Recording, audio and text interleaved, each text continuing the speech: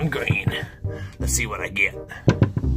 Yo, what's up guys? It's Green Man Jenkins here. Right now I'm playing some roulette. I'm putting it all on green because it's Green Man Jenkins. I've been gone for quite some time.